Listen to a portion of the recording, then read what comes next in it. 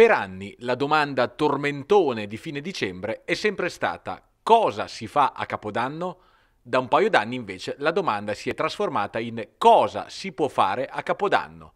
Praticamente nulla nel 2020 con il San Silvestro trascorso in lockdown, molto di più in questo ultimo dell'anno 2021, ma meno di quanto era lecito sperare solo fino a poche settimane fa.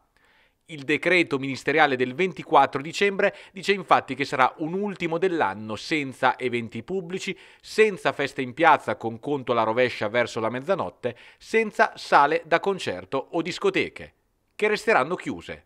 Questo impone la rapidità di contagi accelerata dalla variante Omicron anche nelle Marche. La parola d'ordine è evitare qualsiasi situazione che potrebbe determinare assembramenti. Nessuna limitazione invece per gli spostamenti. Ci si potrà muovere verso altri comuni o altre regioni rispetto a quelle di residenza e si potrà andare in albergo.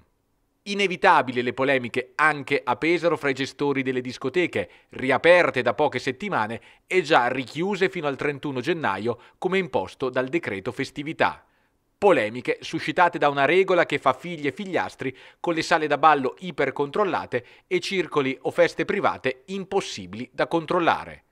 Il massimo consentito sarà il cenone con musica da sottofondo ma senza balli. Già perché rispetto a un capodanno fa, questa volta al ristorante ci si potrà andare. E lo si farà come lo si sta già facendo da un paio di settimane, ovvero solo muniti di Super Green Pass tradotto solo se si è vaccinati. C'è però anche una sacca di resistenza diffusa a evitare situazioni potenzialmente da contagio. Ci sono sì i locali pieni, ma non mancano anche i ristoranti pesaresi che hanno preferito disdire il cenone. Tanti invece quelli che lavoreranno con l'asporto per i cenoni da apparecchiare in casa. Fra le mura domestiche infatti non vige nessuna limitazione a ricevere ospiti al di là dell'attenersi al buon senso.